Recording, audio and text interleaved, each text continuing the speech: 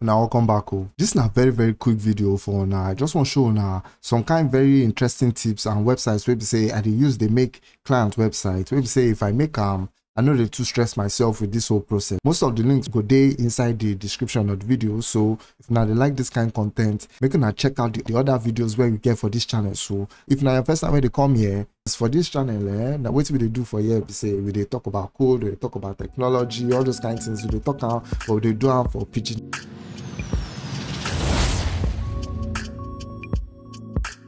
now wetin we wan do for here say we wan come this site this na the first site wey i go recommend. This na unsplash So on Splash now, where you could find pictures and where you can find your images for your client's websites. If you come here, if you just search for any picture where you want and you go use them. So you get some kind other ones. Sometimes on Splash, you know, they get odd pictures where they want. So you get one where they always save my hash and then at this one, they call them um, pixels. And these pixels, eh, what they do They say it be the same, but it they I want TikTok app, it they more free, like it they more interesting to the work with. So they get more pictures pass on splash and on splash e just like said, they just start to collect money sef for some of their pictures. But um, pexels na say e go dey get very clean pictures also just like on splash but e get more as far as i can tell that they help me most of the time.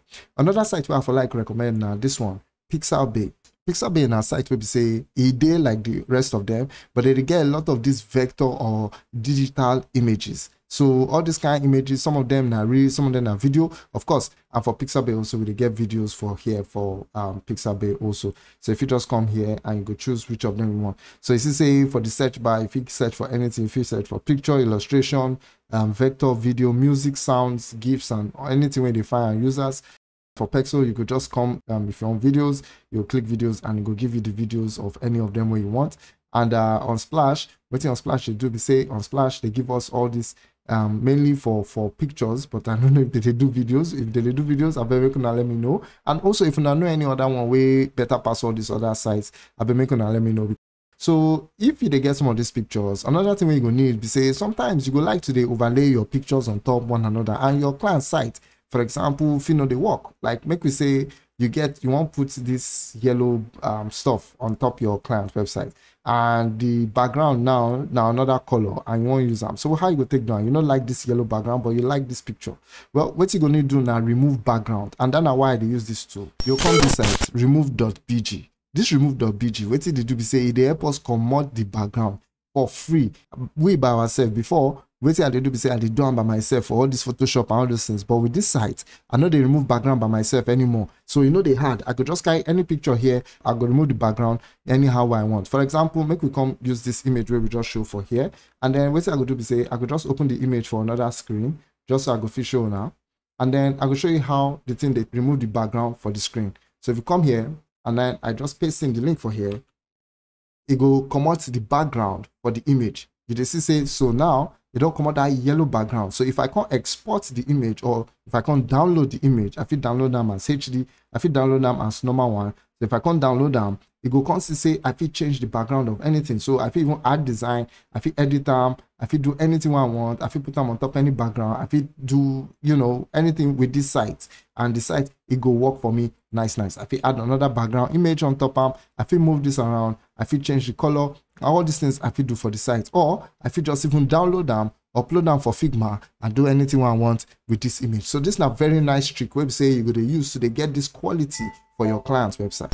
Another very interesting one na this one. Dey call am convert case. So this convert case as simple as e be eh wetin e do be say e help me dey arrange the text very very nice. E help me dey set the text wey say if the text no sure like for example if i say uh, if i say am like this now and i write this text you go notice say i put this one for uppercase i put this one set for uppercase but i put some of the text here as capital letter and some for small letter and all those kind of things. So wetin this side dey help me dey do be say i dey quickly dey change the case of the text. So if i wan make na sentence case meaning say na just this one for here i go just come the sentence case and go change everything here to sentence case. Also if you even set am to capitalize if you change am to anything wey you want title case and so forth. Another very interesting one wey i like na this site we dey call am namelex and wetin namelex dey help me dey do. Be say dey help me dey generate name of company because sometimes you go want just generate name of company or get idea of logo or all those kind of things. Na that time wey i like use this namelet so for example make we say we dey wan make um, web design company right? So if you just say uh, web design. So if i talk am like this now wetin namelet go do be say once i click generate e go help me generate e go ask me some kind things say make i just fill out this small random form and if i click here any of them and then i just say i fit choose how i want make the name be make it be from um, spelled or make it be compound or make it be two words or things like that. So i fit just say okay make the word just be short word and then make it just make i just click next for here. And then make i just say how i want make the words dey random. Make i just say make it dey balance for here and then we go click next. And as we click this next make we say the brand we wan represent now this web design okay? That na our own brand so if we say oh okay this na the idea wey we get and we fit talk any kind description wey we want. So we could just say and if we talk like this and we press next you go see say namelet go just generate e go quickly generate a name for me based on wetin i type. So for example if you just give me all these names for here if you give me this web glow design and Hive City. So all these names here, you go come feel scroll. By the way, this list here, it be like say this list no dey finish because what they do be say it go they give us all sorts of names and they give us for different ideas. So if we blend these names here, or if you use them um, to take get how we want to make our own uh logo or um, or our own logo or our own even company name. So that's why I like use um all these kind of tools like uh, namelet so they get all those company names. Just to get idea i don't need to use the main thing. Now um if you want click any of these ones if you get even the domains for here. So if you just register any of the domains for here if you come here say okay you like this um art of design i like them if i click art, art of design for here go carry me go this page. And for here I go feel say, oh, okay, I feel take more names for here. I feel do more designs for here as I want. So now, nah, so I did take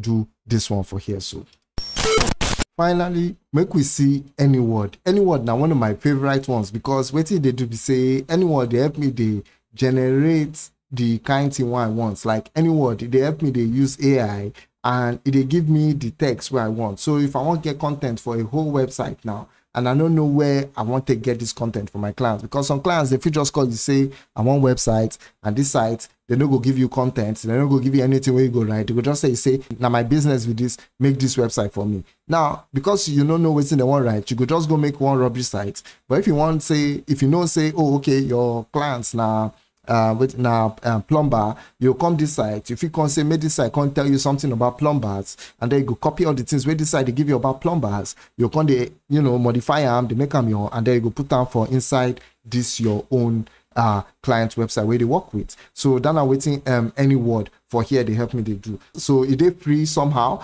but you know they free somehow. Okay, so just now so they use them because some some part of them they free, and uh, if you use them past one month, you go get some things, you go get some kind of restrictions where you no go fit make again. So keep that in mind. But for now, that's not all we go fit length. If you they enjoy this kind of video, I beg make una let me know. If you get suggestion, you feel also let me know for the comment side of this video. I they always they try reply. But if you una want hear me directly, no wala now. You join our Telegram community. Otherwise, thanks for watching. Oh.